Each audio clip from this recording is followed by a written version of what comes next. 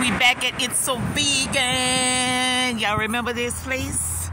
The other food is still in the car. We came back here to pick up for this.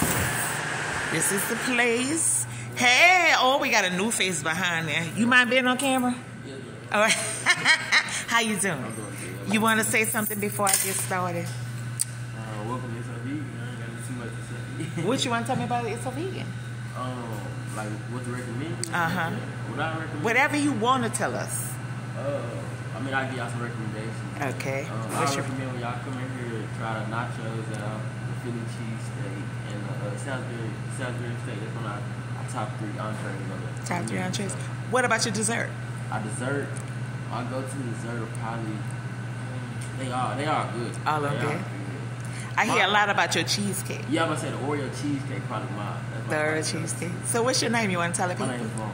All right, if y'all want to come by and stop by It's So Vegan, look for this little handsome face. You see that smile? You see him. We'll talk to y'all later. Bye.